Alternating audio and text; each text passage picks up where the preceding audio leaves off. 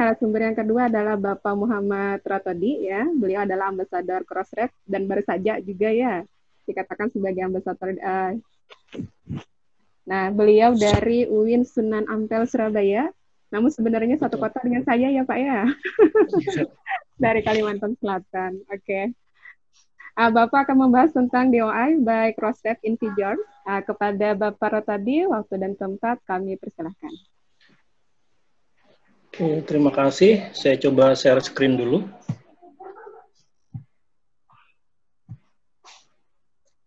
Uh, apakah bisa dilihat gambarnya? Bisa. Sudah ya? Galang dana RCI. Galang dana. Ya, jadi ada penggalangan dana. Jadi buat Bapak Ibu yang baru bergabung di Zoom ini atau lewat uh, live YouTube, silakan sisihkan rezekinya untuk membantu uh, saudara-saudara kita melalui nomor rekening yang tercantum di sana. Ada kode uniknya juga ikuti aja panduannya. Oke okay. uh, eh, uh, saya uh, diminta untuk uh, kalau di rundown bilangnya doi untuk uh, statistik ya. Jadi saya coba terjemahkan dalam bahasa Indonesia saja. Saya coba buat uh, tentang Crossref Indonesia dalam angka. Uh, materinya bisa diakses di tautan yang ada di layar Bapak Ibu semuanya di bit.ly slash crossref underscore in underscore numbers. Uh, perkenalkan nama saya Muhammad Ratodi. Saya di Crossref sebagai ambasador untuk Indonesia beserta dengan Pak Tanzil dari Universitas Muhammadiyah Sidoarjo. Jadi Indonesia ini punya dua ambasador. Kemudian beberapa waktu terakhir juga terlibat di pusat publikasi ilmiah RJI. Uh, nah, oke. Okay. Uh, saya hari ini juga tidak akan bicara tentang yang sifatnya teknis seperti pembicara-pembicara sebelumnya. Uh, saya hanya ingin menyampaikan beberapa informasi atau wawasan terkait uh, bagaimana kondisi member Crossref di Indonesia seperti apa gambarannya. Nah, Crossref sendiri ini sebenarnya sudah 20 tahun berdiri, Bapak Ibu semuanya ya, 20 eh, tahun berdiri dengan jumlah anggotanya lebih dari 15.000 anggota di seluruh dunia. Dari 15.000 itu uh, per 18 April kemarin 1521-nya berasal dari uh, Indonesia anggotanya. Jadi kurang lebih 10 persennya berasal dari Indonesia. Dan dari 1521 itu kalau di breakdown lagi ternyata 837 di antaranya melalui RJI pendaftarannya atau keanggotaannya melalui RJI. Jadi uh, sangat uh, apa ya sangat signifikan sekali keberadaan RJI yang kemudian membantu perkembangan Eh, anggota-anggota Crossref di Indonesia ya. Terakhir malah saya dengar katanya sudah sampai 930 sekian, sudah dekat 1000 yang melalui RCI. Nah, kalau di breakdown lagi Bapak Ibu, jadi uh, saya coba breakdown data yang uh, eh, 1521 tadi ya. Uh, ternyata sebaran anggota Crossref berdasarkan ada di Jawa ya. Paling banyak anggotanya di Jawa kemudian diikuti eh, dengan di Pulau Sumatera kemudian Sulawesi Bali Nusra Kalimantan Papua hingga Maluku. Kalau dilihat di layar di tabel di grafik di bawah itu ada di Jawa itu ada yang warnanya oranye ada yang warnanya abu-abu. Itu yang oranye itu merupakan member Crossref yang dari RJI sedangkan yang abu-abu non RJI terlihat bahwa kalau di Jawa ini uh, komposisinya cukup berimbang antara uh, anggota Crossref yang member melalui RJI dengan yang non RJI. Sumatera didominasi oleh uh, member Crossref dari RJI, begitu pula dengan Sulawesi, Bali Nusra, Kalimantan hingga Maluku. Jadi terlihat sekali bahwa uh, dominasi atau uh, kiprah RJI ke dalam apa ya dalam meningkatkan atau me mendorong penerbit-penerbit di Indonesia ini untuk memiliki atau menjadi anggota Crossref ini sangat sangat signifikan. Oke, dari tadi yang region tadi saya coba breakdown lagi berdasarkan provinsi. Ya, oh iya, kalau di persentase berarti dari sekitar 1.521 anggota di Indonesia tadi, 55 persennya ada di RJI atau keanggotaannya melalui RJI dan yang sisanya 45 persen itu adalah uh, mandiri atau non RJI. Bulan dua bulan ke depan bisa lebih dari 55 persen. Nah, kemudian saya breakdown berdasarkan provinsi. Ini maksudnya apa? Uh, supaya teman-teman uh, korda atau pengurus daerah di tiap-tiap provinsi tahu kondisi gambaran uh, penerbit di daerahnya masing-masing kaitannya dengan keanggotaannya di Crossref. Jadi kalau di breakdown, Bapak Ibu di, seperti lihat di layar, eh, ternyata provinsi yang paling banyak anggota Crossref menjadi anggota Crossref, penerbitnya terdaftar adalah di Provinsi Jawa Barat. Diikuti oleh Jawa Timur, kemudian DKI Jakarta, Jawa Tengah. Nah, empat provinsi awal ini seperti tadi dikatakan eh, didominasi oleh uh, provinsi yang berada di Kepulauan Jawa. Kemudian di luar Jawa yang cukup signifikan juga adalah uh, di Sulawesi, dalam hal ini Sulawesi Selatan. Ya. Kembali saya coba breakdown antara yang non RJI dengan RJI, terlihat bahwa uh, semakin keluar dari area Jawa bahwa uh, kiprahnya RJI ini sudah sangat uh, dominan. Nah, uh, tadi sekilas tentang uh, distribusinya, ini saya, saya coba paparkan tentang bagaimana partisipasi uh, anggota Crossref Indonesia terhadap layanan-layanan uh, yang ada di Crossref. Jadi seperti yang kita tahu sebenarnya layanan Crossref itu sangat banyak Bapak Ibu, cuma mungkin yang paling populer adalah layanan uh, content registration atau yang sering kita kenalnya sebagai doi ya. Bapak Ibu kenal semua atau sudah familiar dengan kata doi tapi ternyata layanan Crossref ini sangat banyak ya. Dan itu nyaris semuanya itu uh, tidak berbayar alias free ya tapi kemudian akan sangat sayang ketika tidak digunakan Cuma dari sekian banyak fitur layanan itu saya hanya coba uh, paparkan enam aja yang urgent di sini. Yang pertama reference, kemudian ORCID yang nanti mungkin akan dibahas oleh Pak Tanzil, kemudian ada funder registry, crossmark, kemudian uh, eh, URL lisensi dan abstrak. Nah, uh, datanya saya ambil dari sampling aja, jadi dari 1521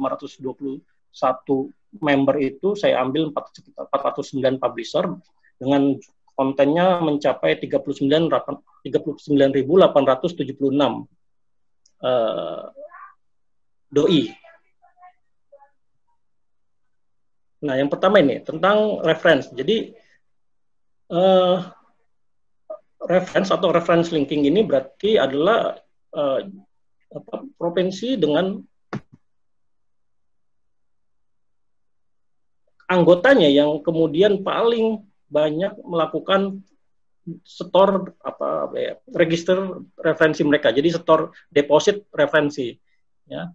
Jadi uh, kalau dilihat di sini ada 1 2 3 4 5 6 7 8 9 9 provinsi yang paling tinggi angkanya adalah Sulawesi Selatan dari dari dari total doi yang diregisterkan oleh anggota di Sulawesi Selatan ini ternyata 3,82 persennya sudah didaftarkan referensinya. Ya. Kenapa ini penting? Karena uh, kita di Crossref sudah punya komitmen untuk membuat suatu komunitas ilmiah yang kemudian saling terkoneksi satu sama lain. Salah satu cara untuk bisa terkoneksi adalah melalui uh, reference linking ya. Jadi dan ini sifatnya sebenarnya Bapak Ibu wajib ketika Bapak Ibu sudah dinyatakan sebagai uh, anggota Crossref atau member Crossref sebenarnya sudah menempel kewajiban untuk melakukan uh, kegiatan reference linking ini. Ya, jadi setor uh, setor metadata referensi. Nah, secara nasional sangat masih rendah 0,69 0,68 sorry dari doi tadi total yang 39 ribu sekian itu baru 0,68 persen yang diregisterkan referensinya. Nah, gimana caranya supaya naik? Jadi Bapak Ibu pastikan referensi diinput di metadata artikel. Jadi tidak hanya di full text-nya, tapi juga di metadata artikel. Referensinya dicantumkan. Kemudian eh, ketika pastikan juga author yang mau terbit di artikel mau terbit di jurnal Bapak Ibu, di referensinya itu juga mensertakan tautan DOI dari artikel yang dijadikan rujukan. Makanya kemudian sangat penting untuk menggunakan uh, reference manager tool ya, jadi semacam Zotero, Mendeley dan sebagainya.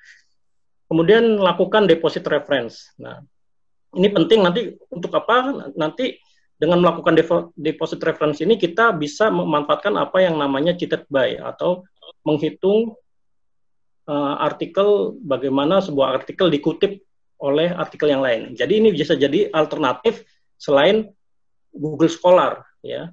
Karena Google Scholar sendiri masih uh, masih kontroversi karena katanya Google Scholar hanya untuk uh, peneliti bukan untuk jurnal. Nah, kalau seperti ini bisa tiap artikel bisa kita pasang cited by-nya.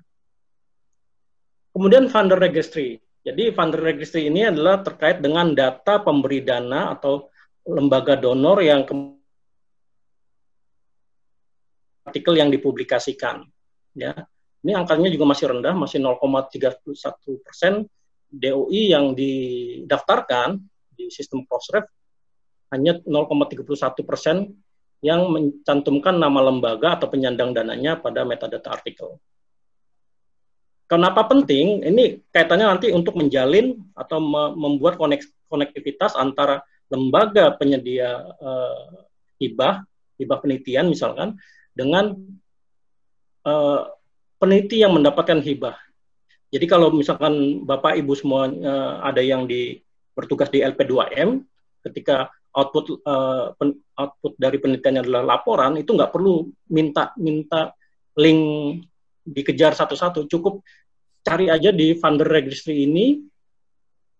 Keluar nggak uh, nama dari author atau nama dari dosen yang mendapatkan hibah penelitian itu benar nggak dia sudah publikasi? Jadi seperti itu. Nah caranya gampang. Jadi pastikan saja nih sering kelewat. Jadi ketika memasukkan metadata artikel cantumkan di bagian supporting agensinya itu nama institusi dari yang uh, memberikan hibah atau memberikan dana penelitian. Kecuali kalau mandiri, mandiri tidak perlu dituliskan. Tapi kalau misalkan dapat hibah penelitian entah dari kementerian atau entah dari kampus, tuliskan di bagian supporting agency.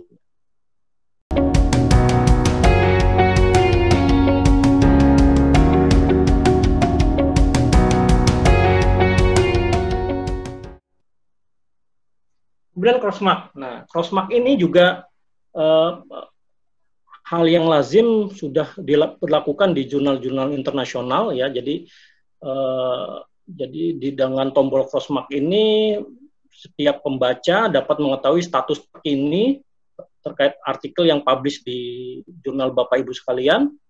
Entah itu nanti ada koreksi, entah itu ada pencabutan, retraction atau ada revisi dan sebagainya awalnya ini Crossref layanan ini tadinya berbayar 0,02 dolar per artikel.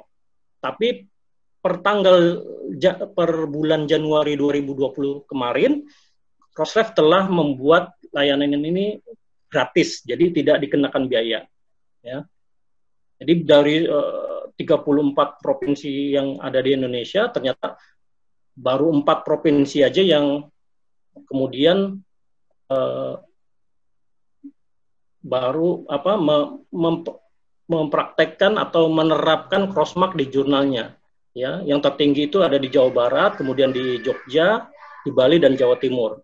Nah, terkait tutorialnya silakan Bapak Ibu bisa lihat di forum relawan jurnal.id ya. Kemudian tentang lisensi Nah, ini lisensi nanti juga ada sesinya sendiri, tapi di sini uh, terlihat bahwa uh, angka rata-rata nasional secara nasional anggota Crossref di Indonesia baru 32,9 persen doi yang diregistrasikan mencantumkan metadata lisensi. Ini kadang-kadang suka kelupaan. Ya, Bapak Ibu pengelola jurnal ketika men-setting uh, jurnalnya atau settingan OJS-nya ini lupa mengaktifkan uh, pilihan lisensinya. Sehingga ketika metadatanya ditarik lisensinya tidak ikut tertarik. Jenis lisensinya tidak menempel di metadata artikel. Ya. Jadi eh, sebaiknya ini Bapak Ibu pastikan pengaturan di OJS-nya sudah diaktifkan kemudian akan lebih baik juga bila di template atau di full text versi full text PDF Bapak Ibu juga mencantumkan lisensinya. Ya karena itu nanti kebaca juga kalau lihat dari grafik, Bangka Belitung ini sampai cukup tinggi, angkanya eh, uh, 74,3 persen uh, konten yang didaftarkan di wilayah Bangka Belitung itu sudah mencantumkan metadata lisensinya. Sedangkan yang paling rendah itu di Kalimantan Timur ya, baru 1,8 persen uh, doi yang didaftarkan itu ada metadata lisensinya. Nah, ini maksudnya ketika nanti Bapak Ibu Korda di eh, di daerahnya masing-masing ketika nanti men-setting uh, ada pelatihan dan sebagainya, ini hal-hal yang seperti ini bisa dimaksimalkan. Kemudian yang terakhir adalah abstrak ya. Abstrak uh, abstrak secara angka lumayan cukup baik ya, 71,4 persen doi yang didaftarkan di Indonesia ini sudah ada metadata abstraknya ya di NTT itu paling NTT dan Sulawesi Tengah itu sampai 100% ya. Ini biasanya tidak sampai 100% ini karena umumnya uh, artikel diterbitkan dengan cara quick submit sehingga met, full text metadatanya ini kemudian tidak apa ya tidak tertarik atau tidak tercantum dengan baik di metadata artikelnya ya jadi hati-hati kalau misalkan mau quick submit. Ya, kalau saya sarankan kalau misalkan pakai OJS 3 jangan quick submit tapi ikuti aja prosesnya tapi skip-skip aja tetap bisa. Oke. Jadi kesimpulannya bahwa sebenarnya uh, de dengan sekian banyak fitur layanan Crossref ini ternyata di kita di Indonesia masih belum termanfaatkan dengan baik atau, atau belum termanfaatkan dengan optimum ya. Padahal fitur-fitur ini kalau kita bisa optimalkan pastinya bisa meningkatkan kredibilitas dan jangkauan diseminasi dari uh, setiap artikel yang publish di jurnal Bapak Ibu. Jadi apa yang dapat dilakukan? Yang pertama, mulailah untuk memperhatikan kualitas metadata, ya, artikel yang dipublikasi di jurnalnya, pastikan semua lengkap, semua konsisten. Kemudian yuk mulai berpartisipasi dalam layanan Crossref karena free juga ya. Demikian Bu Misbah mungkin yang bisa saya sampaikan. Saya kembalikan ke Bu moderator. Terima kasih. Iya, terima kasih Pak Ratan.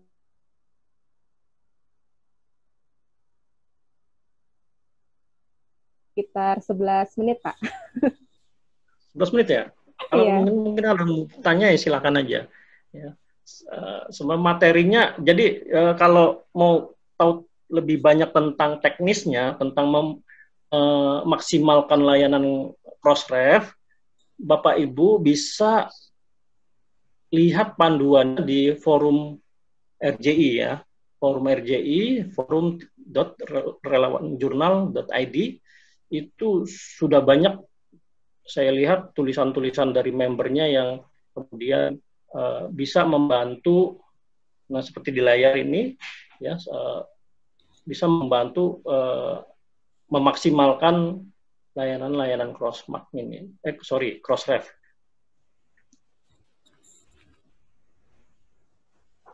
begitu bu. Oke. Okay. uh, terima kasih Pak Ratodi. Uh, karena ini kita pertanyaan via link ya. Apakah mau dibuka lewat Zoom atau seperti apa? Masih ada waktu sekitar 9 menit. Ya, silakan Bu. Uh, monggo silahkan uh, jika ada dari peserta yang mungkin ingin bertanya, kami buka mungkin satu orang dulu. Hmm. Ya. Dipersilahkan. Saya Pak uh, Rotadi, Rotadi. Ya. Ya, silahkan ya, Pak. Pak, monggo Pak. Eh, saya uh, Agus Mahfud dari uh, The Journal of Society and Media. Selama ini saya relatif tidak paham tentang crossref meskipun uh, berbicara apa itu berbicara jurnal kami itu sudah menggunakan DOI. Uh, ketika uh, proses uh, akreditasi, saya kok tidak melihat hal itu kemudian menjadi bahan pertimbangan, tetapi di saya melihat di beberapa jurnal milik teman-teman itu kok men, menampilkan cross-ref cross-ref gitu loh. Nah, saya itu hmm. kadang-kadang juga ingin di jurnal yang saya kelola itu kemudian juga menampilkan cross ref itu, tapi kemudian apa ya uh, untuk untuk apa begitu loh, begitu. Uh, dan mungkin yang perlu uh, uh, saya tanyakan juga, ketika saya menggunakan sudah DOI mulai awal, mulai terbitan awal sampai uh, volume 4 nomor satu ini, apakah itu otomatis langsung dilingkan atau bagaimana? Saya yang kurang paham di situ. Terima kasih, Pak tadi. Oke, terima kasih Pak. Jadi kalau dalam konteks akreditasi, uh, memang yang baru dimanfaatkan adalah keberadaan DOI-nya saja, Pak. Ya kan? Uh, ada apakah ada nomor DOI kan seperti itu. Padahal kalau bicara uh, uh, cross-ref layanannya gitu lah, enggak, tidak hanya DOI. Uh, saya ambil contoh salah satu kalau mungkin Bapak pernah lihat di jurnal-jurnal ada yang mencantumkan logo atau badge dimension ya dimension uh, dimension itu uh, menarik datanya dari crossref ya jadi uh, banyak situs-situs pengindeks atau uh, pemeringkatan yang kemudian menarik datanya dari crossref. Salah satunya dimension kemudian ada lens dan sebagainya. Jadi uh, bicara jadi konteksnya sebenarnya kita lebih luas daripada akreditasi ya Pak. Jadi bagaimana kemudian artikel-artikel Bapak di jurnal Bapak bisa lebih mudah ditemukan, kalau bisa lebih mudah ditemukan artinya bisa lebih mudah diakses, lebih mudah diakses, lebih mudah disitasi kan kayak gitu. Nah, jadi uh, mungkin saat ini uh, kalau dalam konteks akreditasi baru sekedar ada nomor doi atau tidak, apakah doinya aktif, ya, kita nggak tahu. Uh, tapi uh, kalau menurut saya kalau Bapak lihat di jurnal-jurnal internasional yang sudah Scopus kan mereka pasang tadi ada crossmark dan sebagainya. Nah, ini kan yang tadi saya bilang meningkatkan kredibilitas jurnal di mata uh, pembaca atau di mata publik ya. Karena saya rasa semua teman-teman di sini pengen jurnalnya go internasional ya. Artinya kalau go internasional standarnya bukan standar nasional, tapi standarnya sudah pakai standar yang umum aku di ranah uh, ranah internasional. Kemudian yang kedua tadi gimana Pak? Yang kedua, ketika sudah menggunakan DOI, juga milik saya juga sudah apa itu menggunakan dimension. Apakah hal itu secara otomatis dilingkan dengan crossref? Saya itu pengen di uh, jurnal saya itu kebetulan pada volume 4 nomor satu ini penulisnya dari lima negara kebetulan. Juga volume sebelumnya tetapi uh, saya kurang bisa memahami uh, terkait dengan ketika saya linkkan dengan crossref itu bagaimana, terus kemudian uh, apa namanya sekali lagi, apakah ketika saya menggunakan DOI sama uh, dimension itu secara otomatis saya bisa mengelingkan ke crossref di indeksasi ya. begitu. Ya, jadi kalau misalkan Bapak sudah meregistrasikan artikel Bapak doi-nya sudah aktif, itu secara otomatis sudah masuk ke database-nya crossref. Artinya artikel-artikel dan jurnal Bapak bisa dicari di ada lamanya search titik crossref.org. Itu artinya uh, data artikel dan data jurnal Bapak Bapak sudah masuk ke crossref ya, otomatis Pak. Nah, kemudian setelah masuk ke crossref, maka data yang ada di crossref itu ternyata ditarik lagi oleh dimension. Dimension itu kan pengindeks juga, Pak. Ya. Nah, ketika Bapak masuk ke Dimension, coba aja search nama jurnal Bapak atau paling gampang searchnya berdasarkan ISSN, EISSN. Kalau ditemukan di Dimension artinya otomatis sudah terindeks di Dimension tanpa harus Bapak apply. kalau DOAJ tadi kan apply ya Pak. Nah, kalau dimension ini uh, otomatis, otomatis. Jadi tidak perlu apply, dia langsung ambil datanya dari uh, apa dari Crossref seperti itu Pak. Jadi otomatis. Rata-rata di Crossref ini semuanya otomatis. Begitu Pak. Di dimension bukannya kita ketika ada terbitan kita ngupload di dimension begitu dah? Saya kok Enggak, tidak Pak. masih begitu. Tidak, tidak. Itu langsung narik dari dari Crossref, Pak, dari database Crossref. Ya, database database Crossref dari mana? Database Crossref itu dari Bapak ketika meregisterkan artikel atau meregisterkan doi doi yang tadi. Jadi gitu. Jadi otomatis, Pak. Ya. Dan apakah gitu, itu Pak. tadi uh, ketika saya saya pengen uh, apa itu ada agak keren ketika ada apa itu uh, apa tanda atau logonya Crossref di jurnal saya. Padahal kan sudah doa sampai dimension itu loh. Ya. Tapi saya berpikir, apakah begitu begitu loh? Boleh saja Pak. Jadi salah satu kewajiban member Crossref adalah memasang badges member Crossref di situsnya, di jurnalnya. Ada. Di situsnya Crossref ada badgesnya, ada standarnya Pak. Jadi uh, entah itu member, entah itu sponsoring organization, uh, itu ada. Nggak apa-apa pak. Tentuin aja. Ya coba badges crossref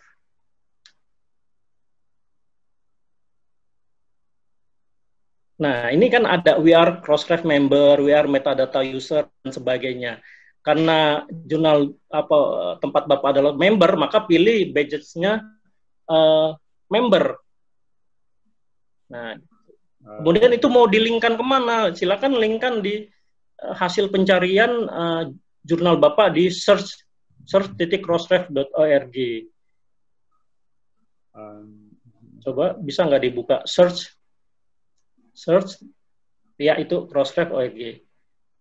Nah, Bapak tinggal cari aja nih di sini.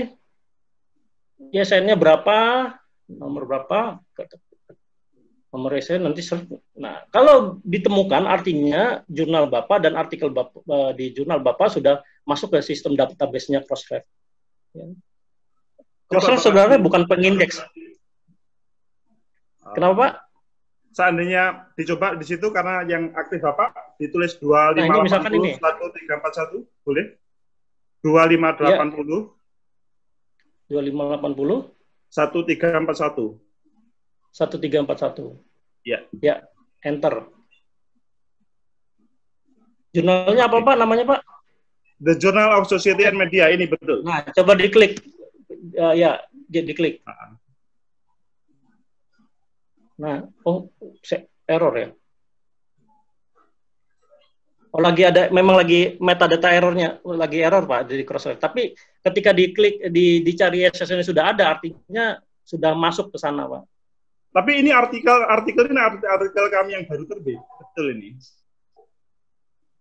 Semua artikel yang doi-nya aktif masuk ke sini, Pak. Oh. Artikel lama, artikel baru, selama dia aktif, sudah diaktifkan, dia masuk ke sini. Seperti itu. Gitu ya, Pak? Baik, siap. Terima kasih banyak, Pak Ratodi. Sama-sama.